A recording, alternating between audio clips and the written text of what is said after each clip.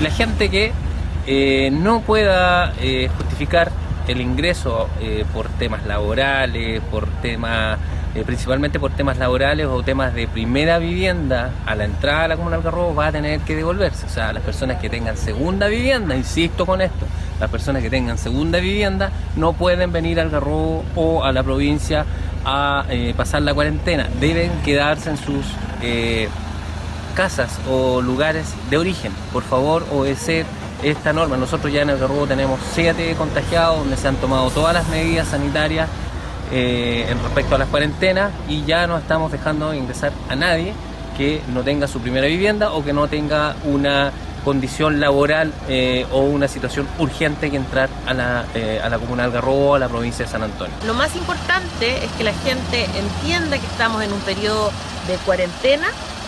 eh, y tenemos que tomar los resguardos que eso significa. No estamos de vacaciones, la gente no puede venir aquí a pasear o a pasar su cuarentena porque deja su eh, vivienda habitual.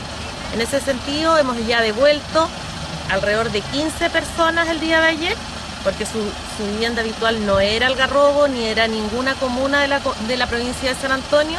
También se ha detenido gente y bueno, hoy día estamos en una campaña que tiene que ser muy relevante, tomar conciencia que el, que no se siga expandiendo este virus depende absolutamente de la responsabilidad individual y eso va a afectar de manera colectiva a mi comunidad.